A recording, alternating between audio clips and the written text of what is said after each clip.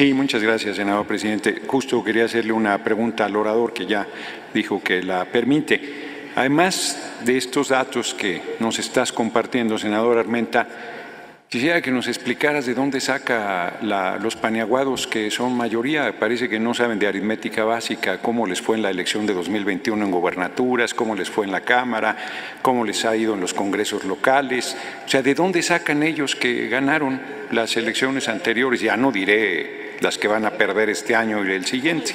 Sí, como en Baja California y en todos lados, hombre, pues, son si nos pudieras ahí aclarar eso, porque yo los oigo que dicen que ganaron y ganaron y no veo qué ganaron. Amigos y amigas, vamos a ir a la sesión de la comisión permanente. En un video pasado, el diputado del PT, Reginaldo Sandoval, decía claramente que estaba sorprendido porque los panistas se creen sus propias mentiras. Pues nuevamente sube otro panista a decir una sarta de mentiras que dice que el presidente ya no cuenta con la aprobación del pueblo de México. Hay que recordarle a este panista que hoy el presidente cuenta con el 71% de aprobación, siendo que ganó con el 52%. Además se pone a decir que Morena ha perdido las elecciones de diputados y gobernadores y que va a seguir perdiendo las de 5 de junio y que en el 2024 va a ser la derrota de Morena. Amigos y amigas, de veras que sí queda uno sorprendido cómo estos señores hablan con una seguridad, se creen sus propias mentiras. Vamos a escuchar al senador Armenta cómo les ha dado una regañada, pero de aquellas como la maestra les da a los niños de kinder cuando se portan mal. Vamos a ir al video. Abre el diputado Paulo Martínez López del Partido de Acción Nacional. Por favor, diputado.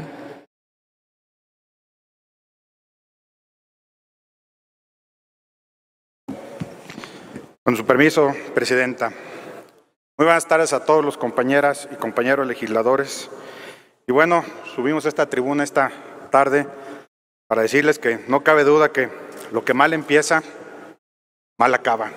Y hoy estamos iniciando esta comisión permanente con el pie izquierdo y sin lugar a dudas estaremos terminando mucho, muchísimo peor. Y quiero darle a quien me antecedió unos datos también, que están pidiendo datos. En el 2018, cuando llegaron al gobierno, había 51 millones de pobres en este país. Hoy, datos propios de su gobierno, hay poco más de 53 millones de pobres. Y el presupuesto con el que le asignaron en el 2019 a bienestar fue de 147 mil millones de pesos. ¿Sí? En el 2021 tenían 196, 190 191 mil millones de pesos para el presupuesto del 2021 y para el 2022, 296 mil millones de pesos. Casi duplicaron el presupuesto y no han podido disminuir la pobreza en el país. Y esa ha sido, esa ha sido su principal bandera de primero los pobres. Y no han podido con esa. De lo demás, de economía, de salud, no hablemos. Y de los demás temas de seguridad, pues cómo vamos a hablar si el presidente va y saluda a la mamá del Chapo. Pero bueno, ahí les dejo esos datos. Y se nota a leguas que le han aprendido muy bien a su jefe que despacha desde el palacio. Pero les recuerdo que sus verdaderos jefes son los ciudadanos y a ellos son a quienes se deben. Quieren venir aquí a imponer todo lo que a su juicio les conviene, sin importar la representación popular y la distribución del voto que nos dieron los mexicanos porque perdieron representatividad, eso queda perfectamente claro. Han perdido la confianza de los ciudadanos del 2018 a la fecha. Perdieron las elecciones en el 2021, por eso somos más diputados de oposición en la Cámara de Diputados. ¿sí? Perdieron en su revocación de mandato, porque en el 2018 traía 30 millones de votos el presidente, hoy sacaron 16, 17 millones de votos. Y para el 24, para el 24 van a sacar menos. Y en los próximos procesos electorales van a perder, ¿sí? Pero algo debo de reconocerles a ustedes, una gran habilidad que tienen para violentar todas las leyes y reglamentos, de los que ustedes mismos juraron cumplir y hacer cumplir.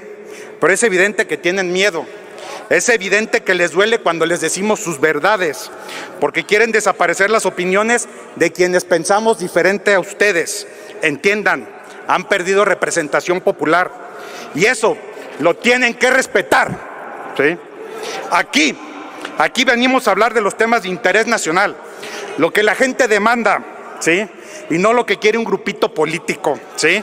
Pero me queda claro que nada más reciben instrucciones del señor de Palacio. Deben entender y les vamos a hacer entender que estamos en un país democrático, que estamos en un país plural, ¿sí? Y es increíble cómo quieren imponer una dictadura en el país. Y hoy aquí en esta comisión permanente han querido censurar, han querido callar y podrán apagar sus micrófonos, pero ante los ciudadanos no nos van a callar, porque nosotros sí salimos a la calle. Y en este espacio les vamos a recordar punto a punto lo que han hecho mal, lo que han destruido, ¿sí? Y cómo han dejado al desamparo a mucha gente y cómo el país va en picada. Señores, esos tiempos de sumisión, esos tiempos de autoritarismo ya se terminaron.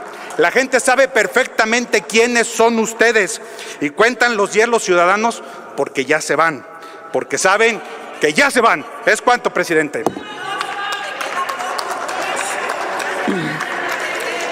Tiene el uso de la palabra el senador Alejandro Armenta Mier de Morena.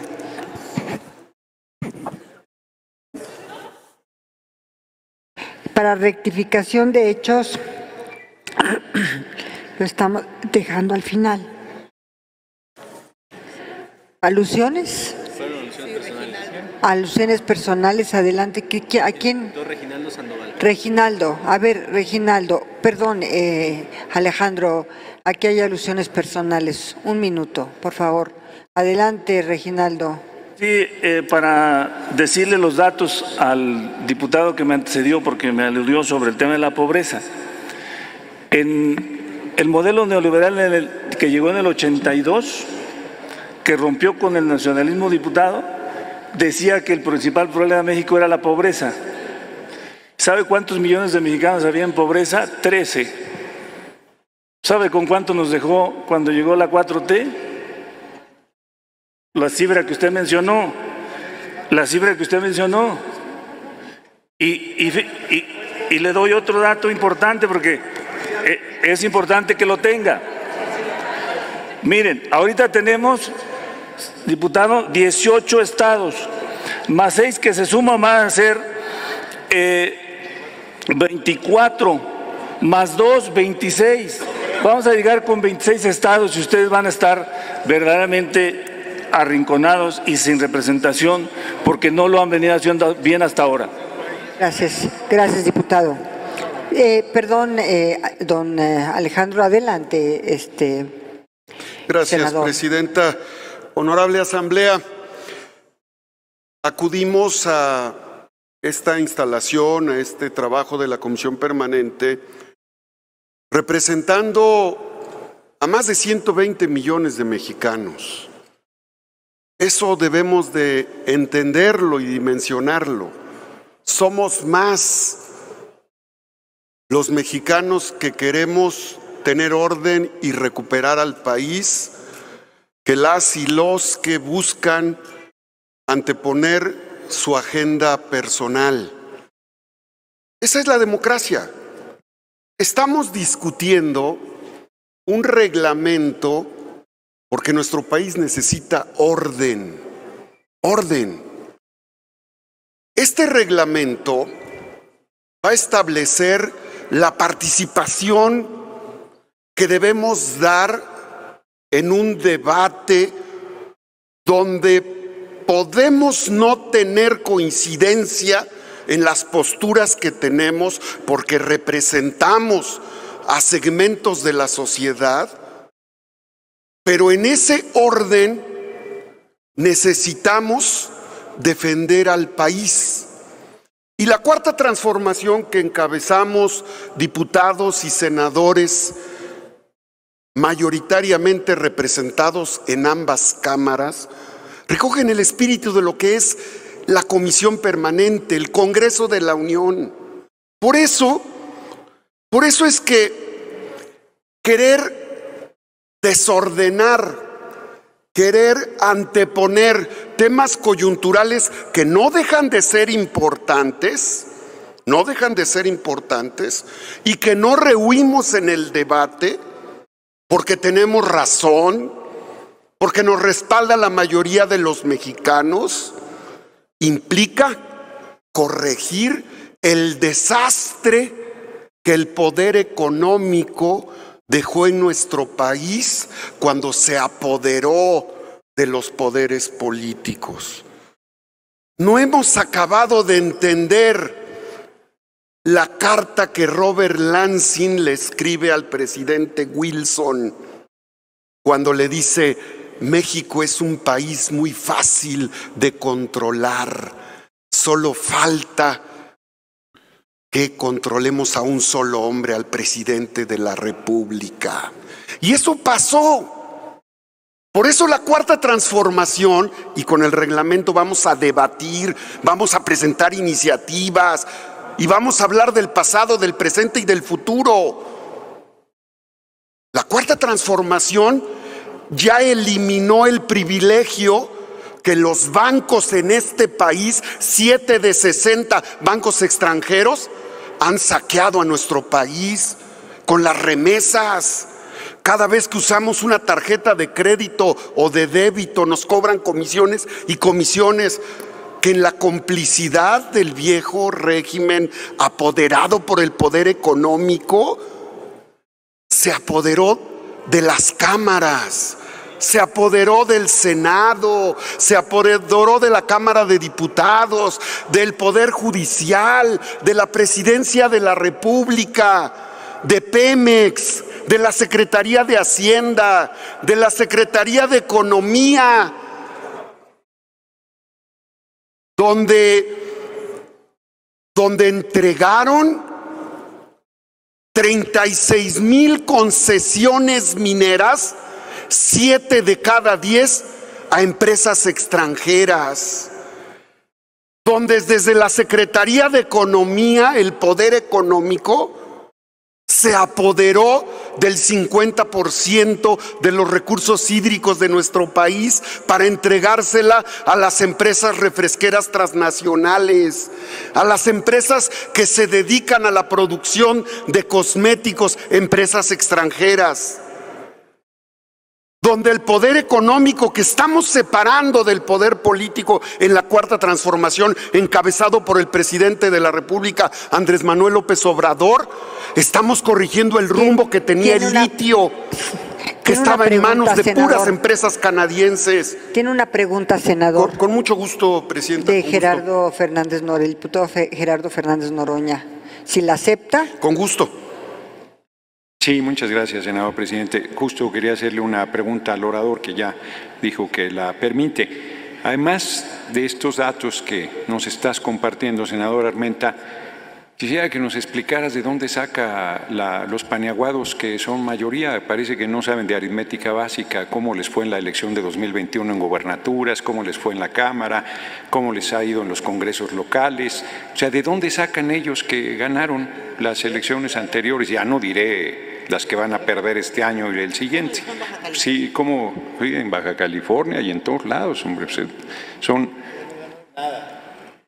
si nos pudieras ahí aclarar eso, porque yo los oigo que dicen que ganaron y ganaron y no veo qué ganaron.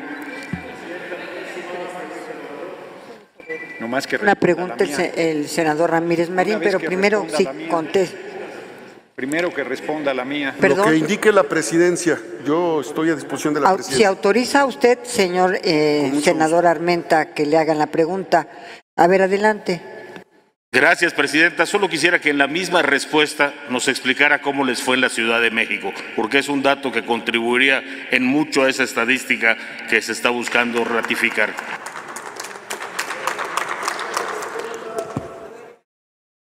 Adelante, por favor, senador Armenta. Ah, También tiene una pregunta el senador, el diputado Godoy. Adelante también. Señora Presidenta, primero quiero decir que en el 21 nuestra coalición sacó 20 millones 900 mil votos y Vox por México sacó 19 millones 367 mil votos.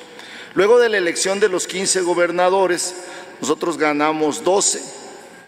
El Verde ganó uno, Movimiento Ciudadano uno y el PAN solo ganó uno. Entonces quisiera que también usted diera esta perspectiva general, porque si se tratara de preguntas en lo particular de elecciones, pues yo quisiera que nos dijera cómo le fue a esta coalición en Baja California Norte.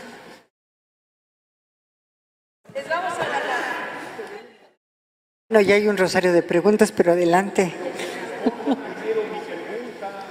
También. A ver, no sé si las quiera contestar una a una o, o quiera eh, que le siga. Hay, hay otra Si pregunta. gusta, del avanzo con la respuesta para no perder la descripción, ¿verdad? Con mucho gusto. A ver, después le hace la pregunta, quiere contestar ahorita. De acuerdo. Sí, Presidenta, yo respeto la coordinación que a usted le corresponde en esta tarea legislativa. La presidencia, la a presidencia. la presidencia. Eh, sin duda, quienes aquí estamos, compañeras y compañeros legisladores, ninguna y ninguno de ustedes puede acusarse de inocencia política, ni de falta de experiencia política, ni de falta de expertise electoral. Sería una ofensa a la inteligencia de ustedes pretender dar una clase de estadística electoral. Cada quien le da una lectura en función de sus intereses partidarios a los resultados electorales. Pero lo cierto es que los resultados electorales ponen en evidencia dónde se gana o dónde el resultado es adverso. Eso es inobjetable en la matemática electoral. Sin duda, nuestro país ha entrado en un proceso de hartazgo. Y yo quiero acudir en la respuesta porque el diputado vicecoordinador ha dado una estadística puntual. Y no pretendo repetirla, pero lo que sí quiero compartirles en la respuesta en general es que los ciudadanos, los ciudadanos nos envían lecciones, lecciones en cada elección. Y cada partido lo interpreta de diferente forma.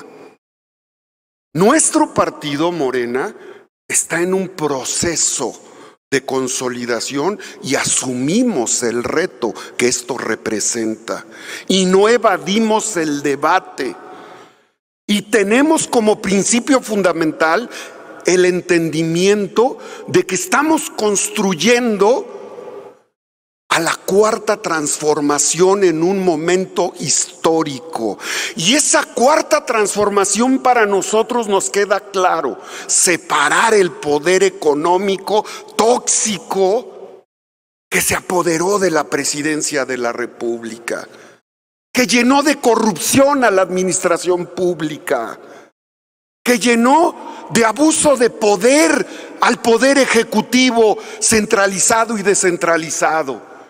Para nosotros en nuestro proceso de consolidación institucional desde el poder máximo, es claro que la lectura sin evadir sobre lo que sucedió en la Ciudad de México nos tiene que ayudar a una reflexión, pero también nos tiene que ayudar a entender que los partidos, todos, en la historia política y en el análisis más estricto de la ciencia política, los partidos pierden, pierden militancia cuando se alejan de los derechos humanos de los ciudadanos en todos los lugares.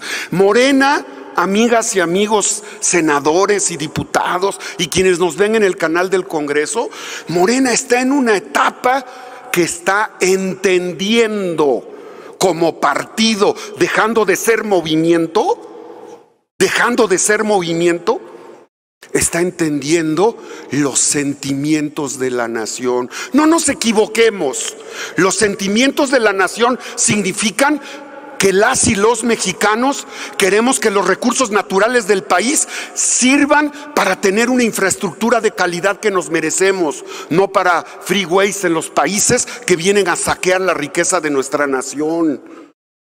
El sentimiento de las y los mexicanos mandan un mandato a los grupos mayoritarios para que logremos que esos privilegios que han tenido los bancos que reciben desde el 2000 hasta el 2022, dinero del pueblo, de sus impuestos, de nuestros impuestos, entre 450 mil millones de pesos en el 2000 y 500 y 600 mil millones de pesos de servicio de la deuda externa a partir del 2022 y 21 se transformen en calidad de vida para los trabajadores, para las mujeres, para las micro, pequeñas y medianas empresas. ¿Por qué nos debe de llenar de emoción ver los puentes colgantes en los océanos de China cuando aprovechan los recursos excedentes de lo que saquean en los países donde extraen materias primas? ¿Por qué nos debe de llenar de emoción?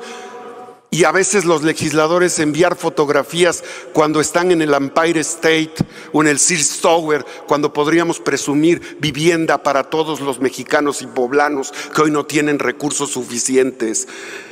La cuarta transformación busca recuperar al país y ese es el mensaje que nos está enviando los ciudadanos cada vez que votan, cada vez que le dicen sí a un partido en un municipio, a un diputado en un distrito o a un gobernador o gobernadora en un estado o a un presidente de la República. En Morena estamos entendiendo los sentimientos de la nación. Eso es lo que quiero comentarles. Eh, continúe con su intervención para que le pueda hacer otra pregunta el, el Muchas gracias, Presidenta. Voy a cerrar comentando que estamos en el orden del día que corresponde a el reglamento, las reglas básicas. Tenemos cuatro meses, tenemos cuatro meses. Todas y todos ustedes saben que este periodo de comisión permanente es el más extenso que nos permite debatir. No hay evasión, no rehuimos al debate, vamos a discutir, vamos a canalizar iniciativas a las cámaras correspondientes y vamos a recoger en Morena los sentimientos de la nación para materializarlos en progreso para México y para los estados que representamos con dignidad. Muchas gracias.